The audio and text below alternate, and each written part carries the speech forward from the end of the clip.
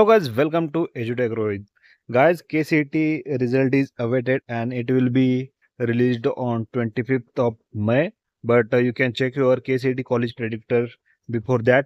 You can enter your expected KCET 24 rank in this website. I have given the website in description box and comment box. You can check from it.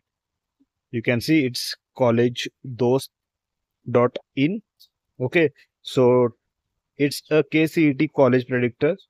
So you have to just enter your expected kcet 24 rank here.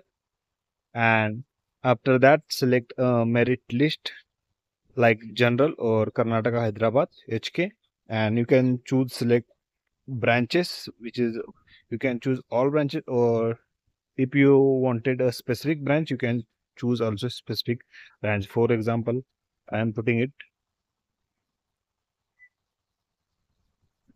Then whatever your merit list, select your merit list, general or Hyderabad. I am selecting general. Then select your category from this. Okay.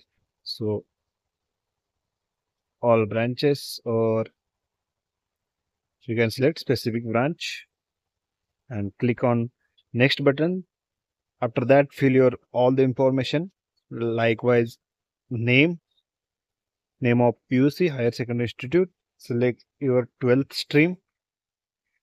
Okay from this biology mathematics biology and just enter your mobile number or whatsapp number and click on the submit button and you will get your prediction for KCET college prediction 2024